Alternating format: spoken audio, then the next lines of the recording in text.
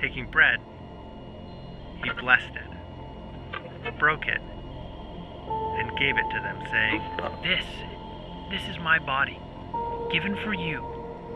Eat it in my memory. He memory. has removed our sins as far from us as the east is from the west. Blessed are those who mourn, for they will be comforted. He will wipe away every tear from their eyes, and there will be no more death, or sorrow, or crying, or pain. All these things are gone forever. He isn't here. He's risen from the dead, just as he said would happen. Come, see where his body was lying. I tell you the truth. Those who listen to my message and believe in God, who sent me, have eternal life. They will never be condemned for their sins, but they have already passed from death into life.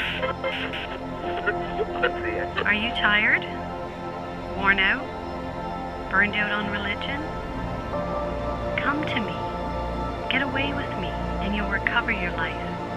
I'll show you how to take a real rest. Walk with me and work with me. Watch how I do it. Learn the unforced rhythms of grace. I won't lay anything heavy or ill fitting on you. Keep company with me, and you'll learn to live freely and lightly.